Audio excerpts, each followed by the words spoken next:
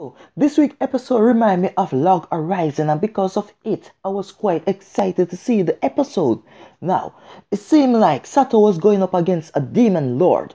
To become a demon lord, you have to go through a lower level demon, then a mid level demon. When you reach the upper level demon, then you become a demon lord. And because of Sato was trying to destroy the greater demon, aka the demon lord, but he couldn't do it because the holy sword wasn't accepting him because he didn't have the hero title. Now, Sato was saying, if I don't have the hero title, what do this what do this matter to me? Because I have, a, I have a higher title than it, the God Slayer title, and because of this title is slay the demon lord. Now, when everybody come out of the dungeon, he finally acquired the hero title because he saved a whole lot of people from the demon lord. Now, they seem like to get is the girls to level up.